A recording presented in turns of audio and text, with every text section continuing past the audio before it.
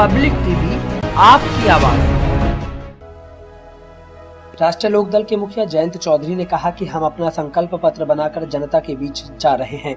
गठबंधन अपने पुराने साथियों से करेंगे, कुछ नए लोग भी जुड़ सकते हैं। कांठ विधानसभा क्षेत्र के कोचावली में एक जनसभा के बाद बातचीत में उन्होंने कहा कि किसान एकजुट है और वो चुनाव में भाजपा को सबक सिखाएँगे। भाकियू नेता राकेश टिकैत के उस बयान, जिसमें उन्होंने भाजपा पर इंडिया को मैच हरवाने का आरोप लगाया था, उस पर प्रतिक्रिया देने से इनकार कर दिया। इतना ज़रूर कहा कि भाजपा विजेता खिलाड़ियों की जीत का श्रेय लेना चाहती है, पर जो किसान आत्महत्या करते हैं, उस पर चुप्पी साध लेते हैं। इस तरह का रवैया अच्छा नहीं है।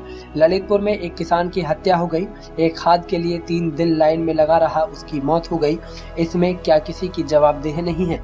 जयंत ने कहा कि प्रदेश में भाजपा को हराने के लिए वो पुराने साथियों के साथ संपर्क में है। जल्द गठबंधन पर अपने पत्ते खोलेंगे। फ़िलहाल वो अपनी पार्टी के संकल्प पत्र को लेकर जनता के बीच जा रहे हैं।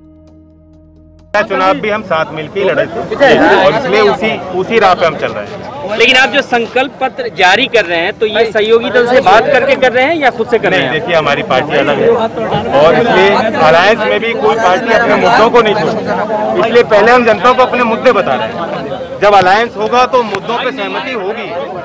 और जब दो पार्टियाँ होती ज़रूरी नहीं है कि हम सौ बात कहेंगे सौ में से सौ मानी जाएँगी। सर ज़रूरी नहीं है सरकार बनेगी कि सौ में से सौ काम होंगे। लेकिन हम अपने निश्चय को जनता के बीच ले जा रहे हैं। ये हमारा संकल्प है। टिकैत साहब ने एक बयान दिया है कि जो अभी ट्वेंटी का मैच हुआ था टी ट्वेंटी मैच हुआ था मतलब मोदी जी ने उसको मैच को हरवाया है। इस पर क्या कहना चाहेंगे? नहीं मैं उस पर क्या कहूँ? उनकी प्रतिक्रिया मैं इसमें क्या कहूँ?